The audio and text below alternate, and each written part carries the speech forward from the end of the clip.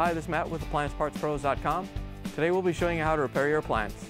Remember, anytime you work on an appliance, make sure it's unplugged or the circuit breakers are off so there's no chance of electrocution.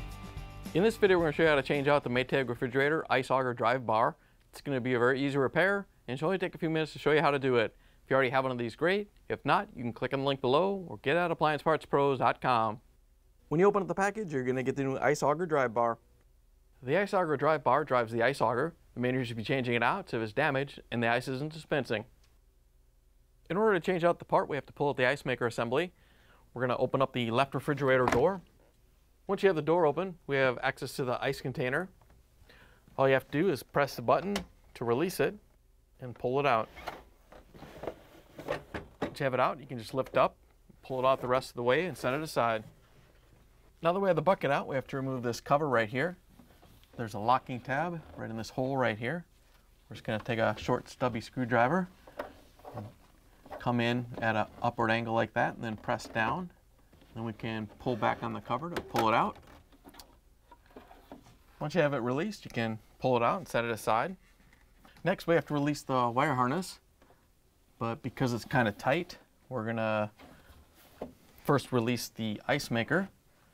There's a little locking tab right here that we just need to pull out on. We can pull the ice maker out a little bit.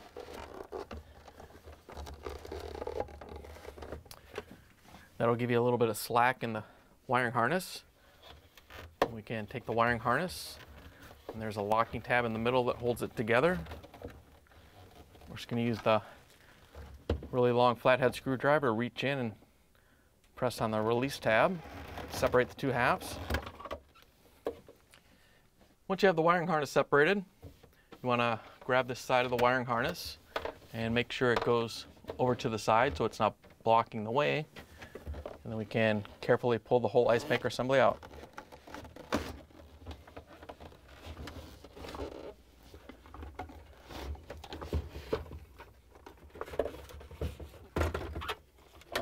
Once you have it free, you can pull it off the refrigerator. Now that we have the assembly out, we're gonna set it on the table. I'm gonna make sure you put a towel down so you don't damage anything. The ice auger drive bar is located here on the top as you're looking at it on the table. It has reverse threads, so we're gonna turn it clockwise to take it off. We're just gonna grab a big flathead screwdriver and get it in the drive bar and then just quickly snap it so it comes off. Once you have it broke free, just unscrew it the rest of the way. Once you have it off, you can pull it off the shaft. There is a washer there, so you want to make sure you don't lose that before you put the new one on. Here's the old ice auger drive bar next to the new one. If you already have one of these, great. If not, you can get it at appliancepartspros.com. To put the new drive bar on, you just want to line it up and screw it on. Remember, it goes counterclockwise to tighten it down. And then once you have it snug down, we're just gonna grab the big flathead screwdriver again, kind of give a little bit of a torque on it just to tighten it down. Doesn't have to be a lot, just get it snug. Once you have it tightened down, we can put the assembly back into the refrigerator. To put the assembly back in, you want to make sure that the rail right here lines up with the glides right there. And you just want to push it back into place.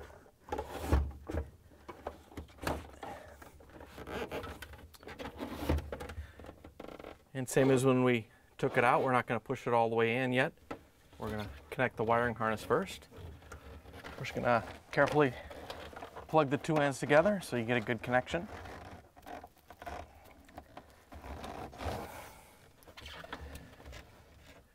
Once you have it locked together, you can push the ice maker all the way in so the tab locks in. Then we can put the cover on just have to line it up and push it back into place so it locks in. Once you have it on, we can put the ice container back in. All you have to do is line up the rails and lift up on it a little bit and push it in. Once you have it locked in, you can close the door, plug it back in, and take it for a spin. Thanks for joining us for another successful repair brought to you by AppliancePartsPros.com. Check out our other repair videos on our site, Facebook, and YouTube.